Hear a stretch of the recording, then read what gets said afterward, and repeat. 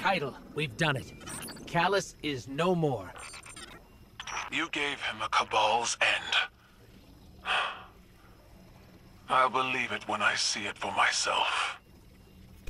Hey, uh, do you guys feel that?